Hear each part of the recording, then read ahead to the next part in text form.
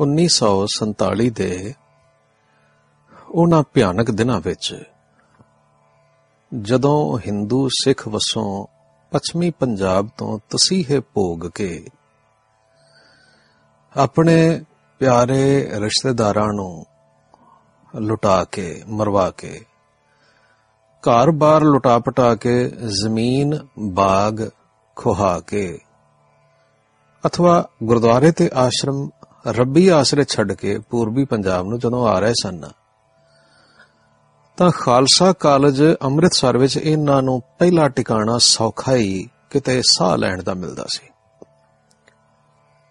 ਕਈ ਵਾਰ ਇੱਥੇ 30000 ਤੋਂ ਵੀ ਉੱਪਰ ਇਕੱਠ ਹੋ ਜਾਂਦਾ ਸੀ। ਇਥੋਂ ਫਿਰ ਅੱਗੇ ਨੂੰ ਤੁਰਦੇ ਸਨ।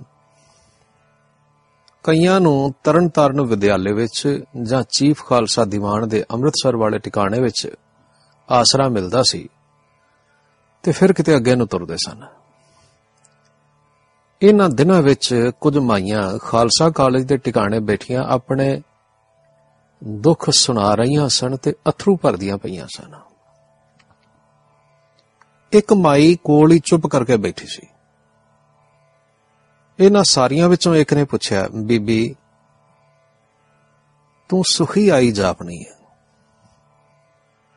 ਤੇਰਾ ਕੁਝ ਨਹੀਂ ਵਿਛੜਿਆ। ਸਹੀ ਸਲਾਮਤ ਆਏ ਹੋ ਨਾ। ਉਸ ਮਾਈ ਨੇ ਜਵਾਬ ਦਿੱਤਾ, ਦੋ ਨੈਣ, ਦੋ ਬਾਹਾਂ, ਦੋ ਲੱਤਾਂ, ਸਾਰਾ ਸਰੀਰ ਤੇ ਮੇਰੇ ਸਿਰ ਦਾ ਸਾਈਂ। ਅਸੀਂ ਸਲਾਮਤ ਆ ਗਏ ਹਾਂ। ਹੈਰਾਨ ਹੋ ਕੇ ਪਹਿਲੀ ਨੇ ਪੁੱਛਿਆ, ਤੇ ਧਨ, ਮਾਲ, ਘਰ-ਬਾਰ, ਡੰਗਰ ਜਾਂ ਜ਼ਮੀਨ ਜਾਇਦਾਦ ਸਭ ਬਚ ਗਏ। ਉਸ ਮਾਈ ਨੇ ਆਖਿਆ, ਜਦੋਂ ਜੰਮੇ ਸਾਨਾ ਤਾਂ ਬਿਨਾ ਪੈਸੇ ਦੇ, ਬਿਨਾ ਮਾਲ ਜਾਂ ਜ਼ਮੀਨਾਂ ਦੇ ਹੀ ਆਏ ਸਾਂ। ਕਮਾਈਆਂ ਕੀਤੀਆਂ, ਵਾਹਿਗੁਰੂ ਨੇ ਬਰਕਤਾਂ ਪਾਈਆਂ, ਸਭ ਕੁਝ ਮਿਲ ਗਿਆ। ਤੇ ਜੇ ਹੁਣ ਦੇਨਹਾਰ ਵਾਹਿਗੁਰੂ ਨੇ ਲੈ ਲਿਆ ਤਾਂ ਸਰੀਰ ਸਲਾਮਤ ਨੇ, ਫਿਰ ਬਰਕਤ ਪਾ ਦੇਵੇਗਾ, ਫਿਰ ਮਿਲ ਜਾਏਗਾ। ਅਸੀਂ ਤੇ ਗਰੀਬ ਹੋ ਗਏ ਆ ਪਰ ਉਸ ਦੇ ਘਰ ਤੇ ਕੋਈ ਕਮੀ ਨਹੀਂ ਨਾ। ਗੁਰੂ ਨੇ ਸਾਨੂੰ ਰੱਬ ਤੇ ਆਸਰਾ ਮਨ ਵਿੱਚ ਸਾਹਸ ਤੇ ਡੌਲਿਆਂ ਵਿੱਚ ਬਲ ਬਖਸ਼ਿਆ ਗੁਰੂ ਭਲੀ ਕਰੇਗਾ। ਫਿਰ ਉਸ ਬੀਬੀ ਨੇ ਪੁੱਛਿਆ, ਤੁਹਾਡੇ ਸਾਰੇ ਜੀ ਜੰਤ ਤੇ ਸਲਾਮਤ ਆ ਗਏ ਨੇ? ਮਾਈ ਨੇ ਆਖਿਆ, ਹਾਂ, ਸਲਾਮਤ ਗਏ ਤੇ ਸਲਾਮਤ ਆਇਆ ਸਾਰੀਆਂ ਹੈਰਾਨ ਹੋ ਕੇ ਵੇਖਣ ਲੱਗ ਪਈਆਂ। ਇੱਕ ਬੀਬੀ ਨੇ ਪੁੱਛਿਆ, ਮਾਈ ਜੀ, ਇਹ ਗੱਲ ਸਮਝ ਨਹੀਂ ਪਈ। ਮਾਈ ਨੇ ਆਖਿਆ, ਬੀਬਾ, ਦੋ ਪੁੱਤਰ ਤੇ ਇੱਕ ਜਵਾਈ ਸ਼ਹੀਦ ਹੋਏ ਨੇ। ਪਰ ਤਿੰਨੇ ਆਪਣਾ ਧਰਮ ਸਹੀ ਸਲਾਮਤ ਲੈ ਗਏ ਨੇ। ਮਰਦਾ ਉਹ ਹੈ ਜਿਹੜਾ ਧਰਮ ਛੋੜ ਕੇ ਜਿਉਂਦਾ ਹੈ। ਤੇ ਜਿਉਂਦਾ ਉਹ ਹੈ ਜਿਹੜਾ ਧਰਮ ਨਾਲ ਲੈ ਕੇ ਮਰਦਾ ਹੈ। ਹੁਣ ਤੇ ਸਾਰੀਆਂ ਕੁਝ ਹੈਰਾਨੀ ਵਿੱਚ, ਕੁਝ ਸ਼ੋਕ ਵਿੱਚ ਆ ਕੇ ਕਾਲੀਆਂ ਪਾਏ ਕੇ ਬੋਲ ਉੱਠੀਆਂ। ਮਾਤਾ, ਇਹ ਕਿਵੇਂ ਹੋਇਆ? ਮਾਤਾ ਨੇ ਜਵਾਬ ਦਿੱਤਾ, ਮੁਸਲਮਾਨਾਂ ਨੇ ਮੇਰੇ ਤਿੰਨਾਂ ਲਾਲਾਂ ਨੂੰ ਆਖਿਆ, ਮੁਸਲਮਾਨ ਹੋ ਜਾਓ। ਤਾਂ ਬੈਠੇ ਰਹੋਗੇ। ਘਰ-ਬਾਰ ਧਨ ਧਾਮ ਕੋਈ ਨਹੀਂ ਲੁੱਟਾਂਗੇ। ਸਾਡੇ ਦੀਨ ਭਾਈ ਬਣ ਜਾਓਗੇ।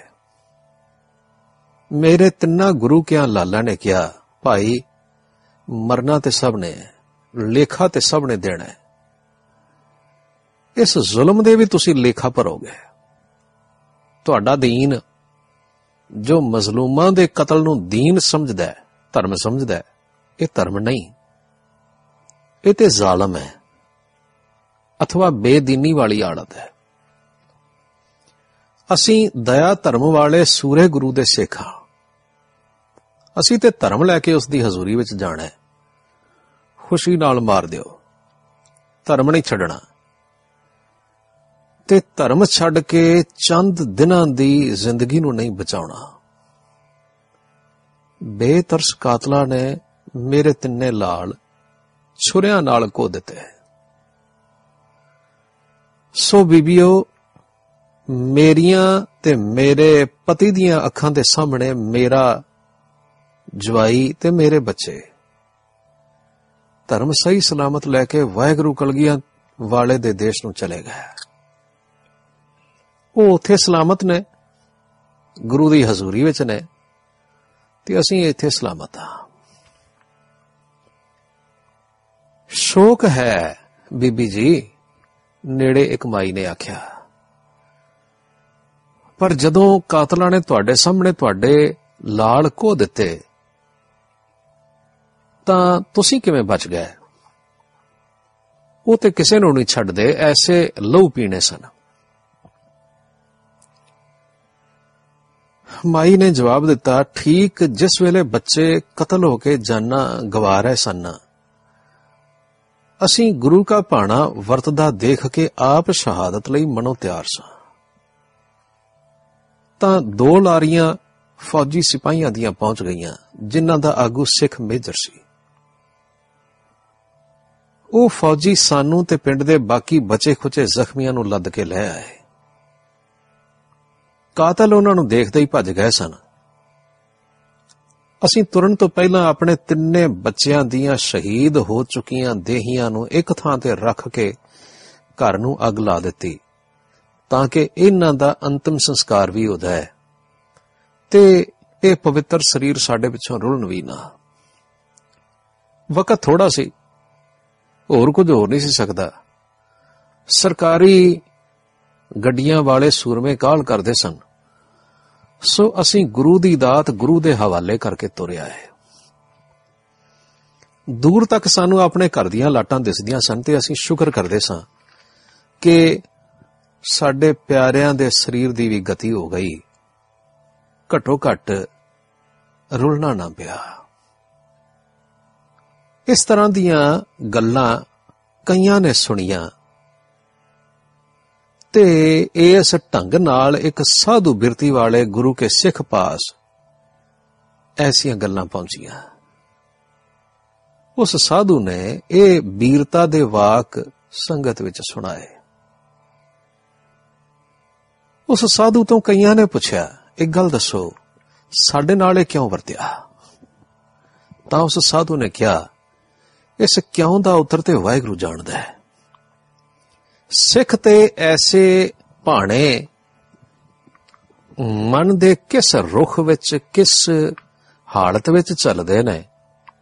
ਇਹ ਗੱਲ ਮੈਂ ਤੁਹਾਨੂੰ ਸੁਣਾਉਣਾ।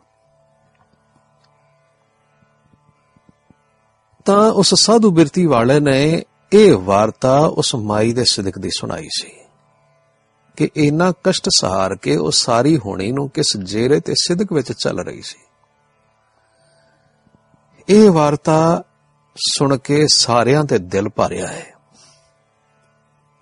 ਅਤੇ ਸਗੋਂ ਸਿਦਕ ਵਿੱਚ ਹੋ ਗਿਆ ਹੈ। ਪਰ ਇੱਕ ਗੱਭਰੂ ਨੇ ਪੁੱਛਿਆ, ਸੰਤ ਜੀ, ਦੱਸੋ ਤਾਂ ਸਹੀ ਬਈ ਇਹ ਹੁੰਦਾ ਕਿਉਂ ਹੈ? ਤਾਂ ਸਾਧੂ ਨੇ ਆਖਿਆ, ਭਾਈ, ਮੈਂ ਤੇ ਅਜੇ ਸਾਧਨਾ ਵਿੱਚ ਲੱਗਾ ਤੇ ਪਰਮਾਰਥ ਵਿੱਚ ਨਾ ਹਾਲਾਂ ਮੇਰੀ ਅਵਸਥਾ ਬੱਚਿਆਂ ਵਾਲੀ ਹੈ। ਮੇਰੇ ਕੰਨਾਂ ਵਿੱਚ ਜੋ ਆਵਾਜ਼ਾਂ ਗੁਰਮੁਖਾਂ ਤੋਂ ਪੈਂਦੀਆਂ ਨੇ, ਉਹ ਇਹ ਨੇ ਕਿ ਸਾਡੇ ਭੈੜੇ ਕਰਮਾਂ ਨੂੰ ਭੈੜੇ ਫਲ ਲੱਗਦੇ ਨੇ। ਤੇ ਕਰਮ ਉਹ ਜਿਹੜੇ ਅਸੀਂ ਹੁਣ ਕਰ ਰਹੇ ਹਾਂ ਜਾਂ ਪਿਛਲੇ ਕੀਤੇ ਫਿਰ ਹੁਕਮ ਵਰਤਦਾ ਹੈ ਕਰਮਾਂ ਨੂੰ ਤੋਲਣ ਤੇ ਭਾਣੇ ਵਰਤਾਉਣ ਵਾਲਾ। ਹੁਕਮ ਹੈ ਹੁਕਮੀ ਦਾ। ਕਿਵੇਂ ਤੇ ਕਿਸ ਤਰ੍ਹਾਂ, ਇਹ ਉਹੀ ਜਾਣਦਾ ਹੈ। ਦੁਨੀਆ ਦਾ ਕੋਈ ਦ੍ਰਿਸ਼ਟਾਂਤ ਪੂਰਾ ਨਹੀਂ ਹੁੰਦਾ। ਪਰ ਹਾਂ, ਦੁਨੀਆ ਦੇ ਦ੍ਰਿਸ਼ਟਾਂਤਾਂ ਤੋਂ ਕੁਝ ਸੋਝੀ ਜ਼ਰੂਰ ਹੋ ਜਾਂਦੀ ਹੈ। ਵੇਖੋ, ਦੁਨੀਆ ਦੀ ਅਦਾਲਤ ਨਾ ਜੁਰਮ ਵੇਖ ਕੇ ਸਜ਼ਾ ਦਿੰਦੀ ਹੈ। ਅਦਾਲਤ ਦਾ ਹੁਕਮ ਪਾਤਸ਼ਾਹ ਦਾ ਹੁਕਮ ਹੁੰਦਾ ਹੈ, ਕਿਉਂਕਿ ਅਦਾਲਤਾਂ ਉਹ ਥਾਪਦਾ ਹੈ। ਗੱਭਰੂ ਨੇ ਆਖਿਆ ਫਿਰ ਉਸੇ ਹੁਕਮ ਹੀ ਵਿੱਚ ਰਹਿਮ ਤੇ ਨਾਣਾ ਹੋਇਆ।